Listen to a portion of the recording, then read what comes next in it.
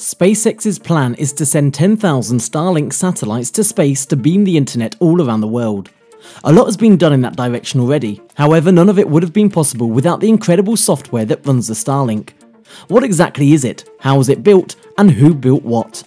Well, we'll find out in just a second, but before that please subscribe to Futurephile to watch more fascinating videos on futuristic tech. All of SpaceX's projects make heavy use of software tools and coding, including the rockets. The rockets are tracked and run by computerized systems that are important in regulating things like fuel temperature, pressure, and so on. Spacecraft designs such as the Crew Dragon and Starship feature even more software and coding. SpaceX's engineering teams continually test the code to ensure that the rockets and the spacecraft all work correctly. They have even developed ERP systems for every stage of building their rockets for maximum achievable accuracy. Software is heavily involved from raw materials exchange, work order assignment, procedure building, and the launch plan. Reliability is one of the biggest concerns that leads SpaceX to utilize software so much. Machine automation can avoid mistakes that humans may end up making. Thus, SpaceX has under its employment a large cast of skilled and talented computer programmers, whose job it is is to build from scratch some of the most important components of SpaceX products. The fate of the company itself, along with precious materials of SpaceX's business partners and contractors, are placed upon the shoulders of the programming team on a daily basis. A big chunk of the programming team are formal university graduates in the computer science discipline, but there are also many employees who are directly taken in without consideration of their degrees because of their exemplary skills in programming and software development. It is in line with Elon Musk's demand for practically skilled people who are able to work under SpaceX's fast-paced routines for research, development and prototyping. So it would make natural sense for Starlink to be the SpaceX product which is the most software intensive. According to Steve Cipanlu, who is currently a software engineering manager at SpaceX, all of their early projects used well-established methodologies and languages that anyone interested in the field as a student will be familiar with. AngularJS, C Sharp, and MSSQL/SQL were all used for their projects. Over the years, as SpaceX sought to drastically increase their technological level of their efforts, the software engineers turned to new methods and advanced programming languages in order to help them develop precisely what they needed. Some of these have not been revealed publicly though, probably because they are trade secrets. However, it is known that the team is preparing to move away from well-known SQL in favour of a lesser-known development of SQL known as PostgreSQL. If you remember, SQL stands for Structured Query Language, and it is used for database development and management, and a stronger version of that language will help the programming team better manage Starlink's thousands of satellites and eventually tens of millions of its future users. Each Starlink unit is composed of multiple systems working together, and these include the satellite itself, ground receivers, Wi-Fi, and so on. All of these systems require updates from SpaceX to function properly and reliably. SpaceX's software for Starlink is designed with this in mind, including the option of further systems in a household connected to the Starlink service.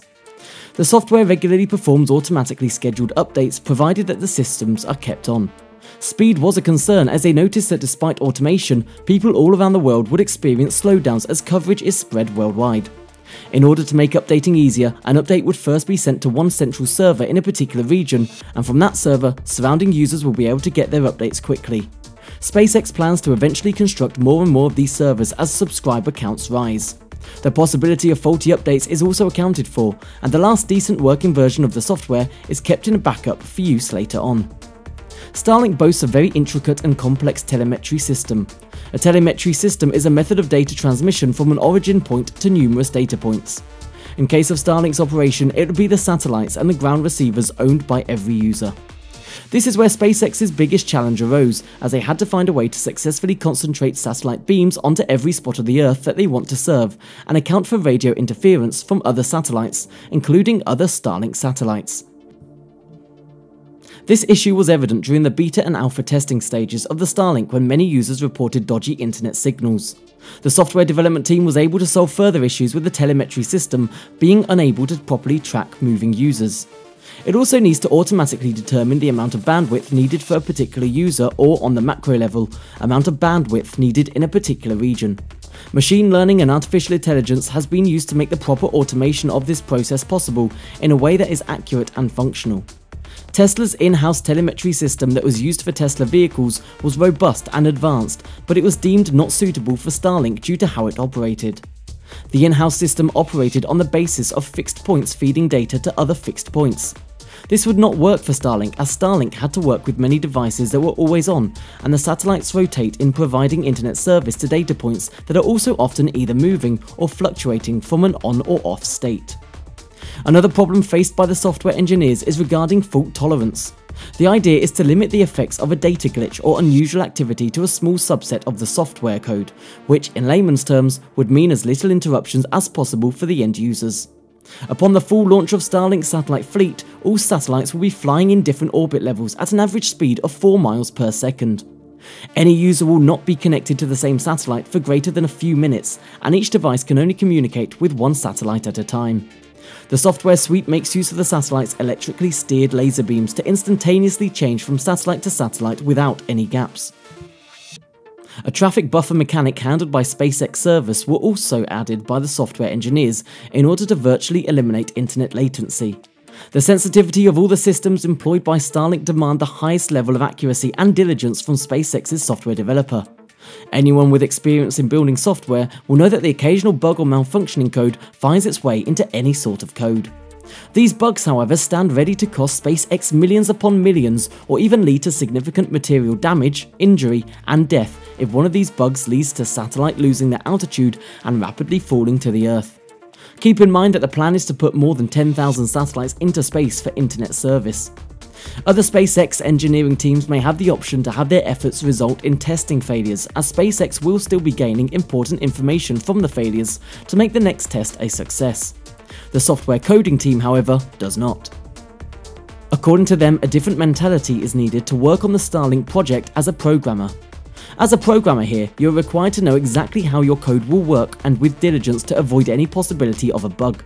You'll also need to know exactly how the code will work in different scenarios and different uses. Due to this, the testing process is the most intense in this sector of SpaceX's development projects. Programmers are still building the software and making updates in small batches that make small changes.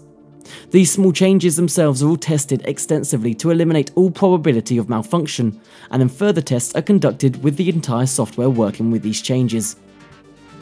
Certainly a very exhaustive process, isn't it? This lines up with the way the telemetry system is set up as it keeps feeding an automation utilised by the software development team to keep tabs on new information and continually monitor the way the software is expected to function. The massive confidence advantage that the software engineers receive from this is unparalleled and priceless, allowing for the best possible outcome to be ensured.